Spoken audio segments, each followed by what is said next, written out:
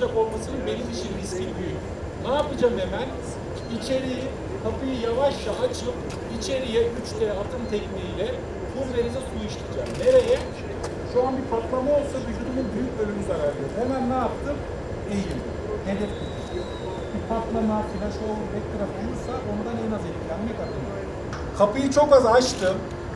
Lansla arkadaşım 3D atım tekniğiyle pulverize olarak suyu işliyor. Sıvı fazdan gaz faza geçsin. Bu da endotermik bir olay olduğu için ortamın ısısını emsin, ortamı soğutsun.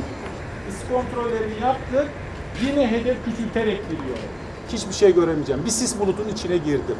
Önümde bir boşluk olabilir. Yüksekten düşebilirim.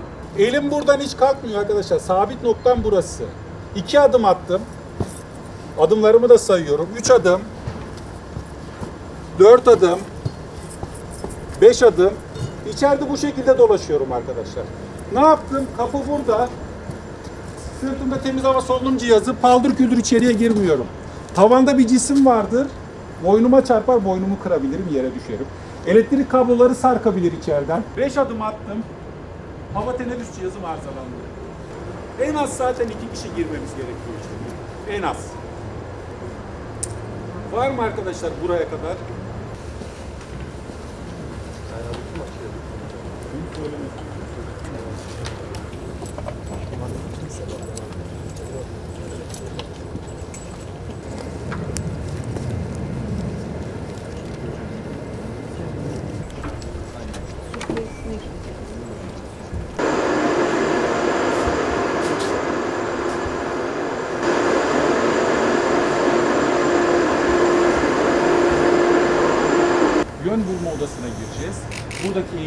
edeceğiz şu an. Kapalı ortama giriş tekniklerinden neyi biliyoruz? İçerinin bir ısı kontrolünü yapmamız gerekiyor. Daha sonra ben gireceğim. Bu hazır bulmuşluk seviyesine sahip olacaksınız. Ne yapacağım? İçeriye baktım. Yoğun duman var.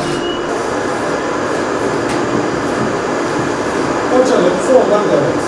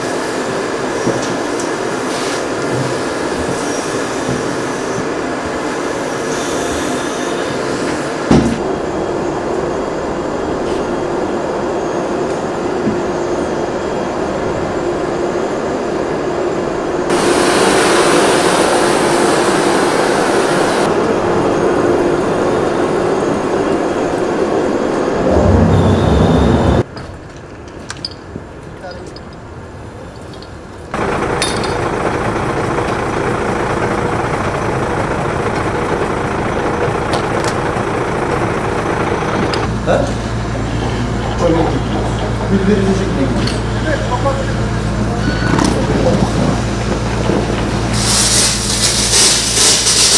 Suyu aç, suyu açarak gir. Aç suyu, hortumu çek.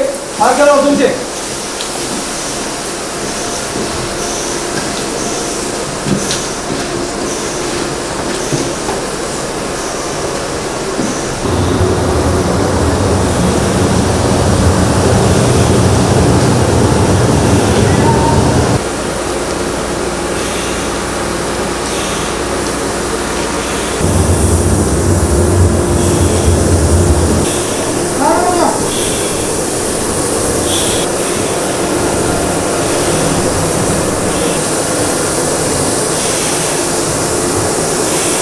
Buradaki en önemli şey iş yerleri ve fabrikalardaki acil durum ekiplerindeki, yangın söndürme ekiplerindekilere eğitim vermek. Birinci öncelik önce onların hayatta kalacak temel bilgilerini öğretmek üzerine geçiyor. Önemli katkıyı bununla sağlıyoruz.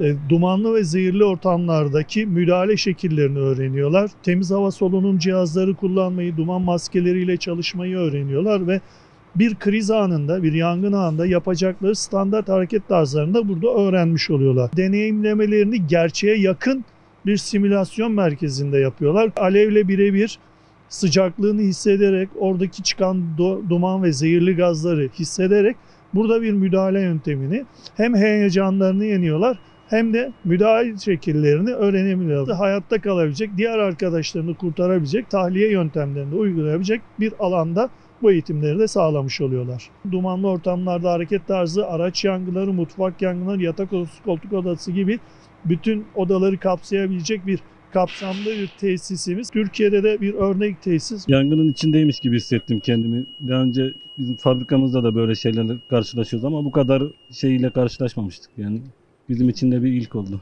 Nasıl müdahale edeceğimi, hangi yangına hangi şeyle müdahale edeceğimizi, suyla mı köpükle mi onları öğrendik. Dışarıdan göründüğü gibi olmadığını görüyorsunuz bazı olayların. Basitmiş gibi görünüyor ama ama öyle değil. Isı çok yüksek içeride. Burada hissettiğim e, yani bu görevin ne kadar zor olduğunu, özverili çalışması gereken bir iş. Hemen hemen 4-5 yıldır yangın ekibindeyim. Tabii burada daha profesyonel e, olarak eğitim görüyoruz. Güzel bir tecrübe. Yani böyle bir eğitim almak gerçek hayatta da e, önemli.